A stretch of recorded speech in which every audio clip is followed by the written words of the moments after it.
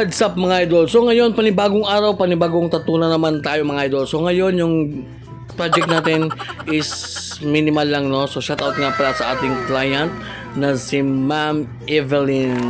Si Ma'am Evelyn ay nagmula pa ng somewhere down the road. So yan, yung ating design nga pala is minimal lang. So pini pinirihan ko lang mga idol. Ah, talagang hindi na tayo nag-print yun nga, nag-freehan lang tayo kasi nga hindi natin pinarent. Yan. So, yung parang may, ewan ko kung anong tawag dito. Yung may flower na color green. Tapos, may pangalan niya sa baba. So, yun. At syempre, yung ginamit nating needles dito mga idol is dalawang klase lang mga idol. 3RL at saka yung shading na 13cm. Yon. Tapos marami pa lang nagtatanong no kung anong voltahe daw yung ginagamit ko dito mga idol. So yung ginagamit ko dito mga idol is 5.5 lang mga idol. So medyo hindi malakas kasi hindi naman tayo ganoon kabilis magtato.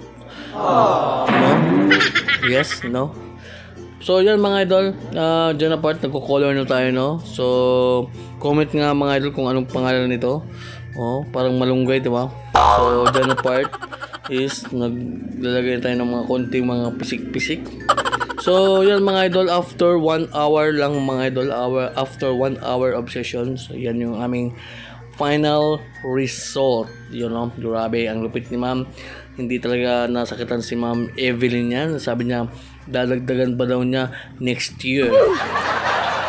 So yun, maraming salamat and God bless at salamat kung umabot kayo hanggang dito. So don't forget to share this video and mag-comment rin kayo and react hard para para para 2, 3 and 2, 2, 4 theme.